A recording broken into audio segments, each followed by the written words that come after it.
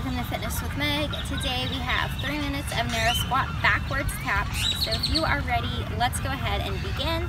So we are going to come into narrow squat here and we are going to hold the narrow squat the entire time and we are just going to tap backwards. So this is what it looks like from the side. So we are doing this for three minutes here, keeping that squat low and then extending that leg back, alternating which leg we are extending back and just tapping that out to the back. So you're just coming back and back. Keep it low the entire time. This move is really going to target those uh, legs, especially those outer thighs. So, and we have two more minutes. So tap and tap.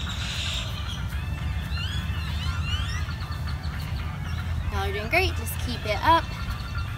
Y'all are doing a great job. It is nice and sunny out. It is a great day.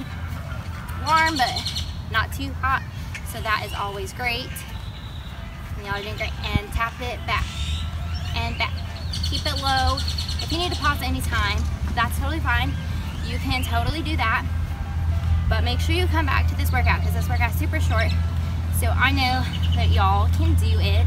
I have faith in y'all. I'm super proud of y'all for sticking through with this workout with me. Y'all are doing great. And if y'all like leg workouts, I have a whole bunch of playlists on my channel.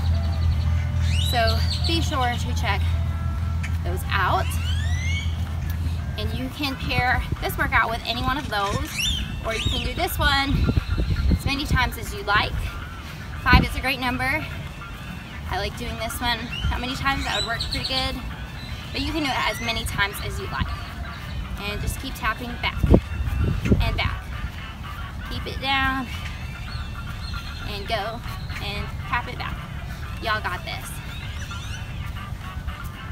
And we have one minute left, so we are less than halfway done with this workout. Y'all got this. Less than one minute to go. You can do this, you are stronger than you know. And y'all got this. And look, tap that toe back. Keep that narrow squat low. Tap back tap it back. Y'all got this. Y'all are almost done.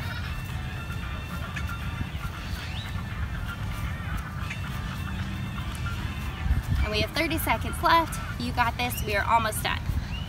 You can do. Keep it up.